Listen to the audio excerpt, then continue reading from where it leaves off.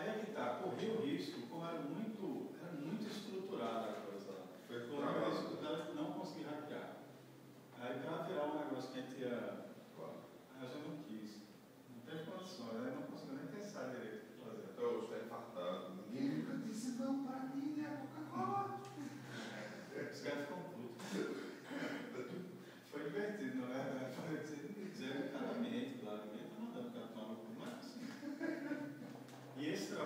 principalmente, perdão, a galera do grafite ficou muito encanado, sabe?